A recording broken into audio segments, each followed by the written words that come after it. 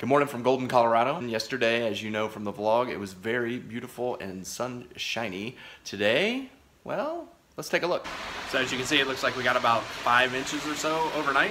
It's gonna make for a fun morning commute.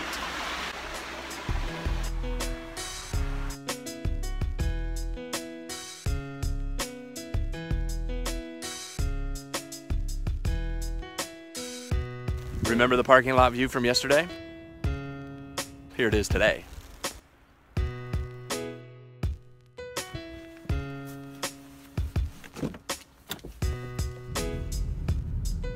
Lunch today happens to be coffee and a computer at a local uh, coffee shop slash bookstore.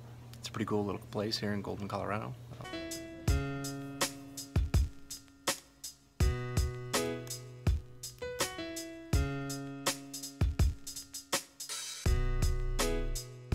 It's time to let my son drive me home, which should be fun today because it snowed. You ready to drive us home safely now? Hey, what's your language?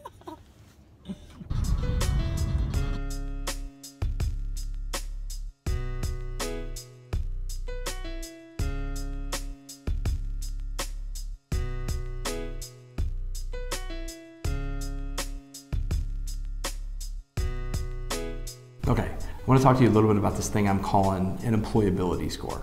It'll help you to understand this if you visualize in your mind a dashboard of all the different things that you've done throughout your career. All your experiences, where you went to school, all the different things that you've done, all listed out one after another, a dashboard. Now, before we go further, I want to take a step back. You and I, every day, we leave behind a digital footprint. And what I mean by that is anything that we do online says something about ourselves. So if you go to Amazon and you buy something, that says something about you. If you go to Facebook and you post something, you like something, you comment on something, that says something about you. Now, as you have the vision of the dashboard in your mind, I also want you to think about something that's called Klout. I don't know if you've ever heard of Klout, but Klout is a social measurement. You get a score between uh, 0 and 100. And basically, what Klout does with that score is it measures your social influence level. So, the higher your score is, the more value you're assigned in Klout's system to say, hey, this person is a big time social influencer. What Klout looks at are your activities online, what you like, what you don't like, what you post, and how many retweets do you get. Those are all signals to the Klout algorithm that computes this score that it calls your Klout score. Operating independently of that is another company called Crystal Knows. That's Crystal, K-N-O-W-S, crystalknows.com. And what Crystal does is finds your digital footprint and it brings it all back in and puts it into its proprietary algorithm and it creates a personality profile for you based on the DISC assessment.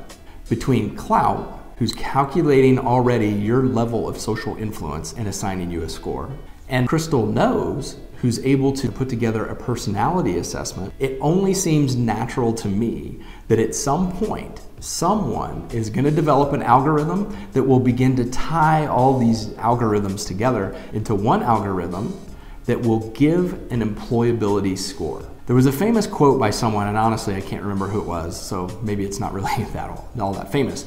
But the quote goes something like this Everything around you is mathematics and everything around you is numbers. And if you look at your career like that and you really stop to think, what is it about my career that could be converted into a potential number? For starters, think about where you went to college or if you even went to college at all. Based on the answer to those questions, a numerical value could be assigned. For example, did you go to college? Yes, 100 points. But let's say you went to Harvard.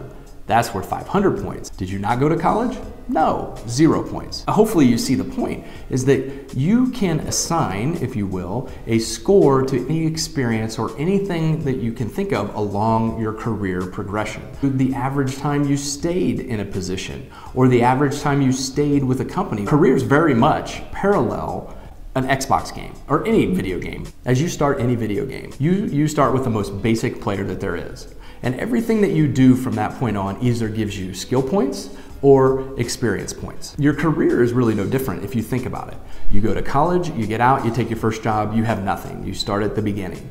And then everything that you do after that, every role you take, every experience you have, every skill set you gain, you earn credibility points, if you will, in those particular areas. And those points are what help you move from one job, one role, one company to the next. So you can see just from that logic, it doesn't take a big, huge leap, especially with the amount of data that's available on each and every one of us out there to come up with something down the road that's gonna resemble an employability score. Now think about job descriptions five, ten years down the road from now. Not only will they say here's the title, but they could specify here's the minimum employability score. Why am I bringing this up today? Well, just this past week in the United States, our Congress voted against a resolution that would have helped us maintain our internet privacy.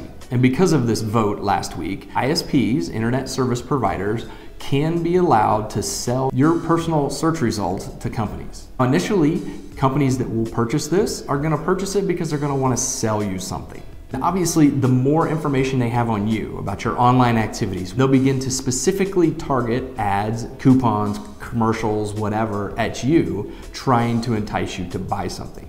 John Anderson, you could use a Guinness right about now. So now that sounds like it might be okay, right? But what if your internet search history was actually used as a part of an employability score? How would you like to have your personal search results out there for everybody to see? And that's why it's extremely important for us to pay attention to our digital footprint because within five years, someone will develop an algorithm that will pull together all of our digital footprints and they will create an employability score. And with that, we'll call today's vlog done. So in a sense, what this vote, vote now before we want to move